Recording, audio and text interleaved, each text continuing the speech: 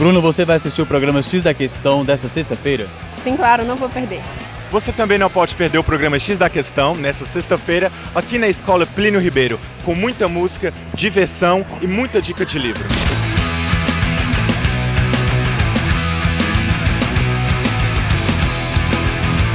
É nessa sexta-feira, às 5h30 da tarde, com reprise no sábado, às 5 da tarde, aqui na TV Gerais.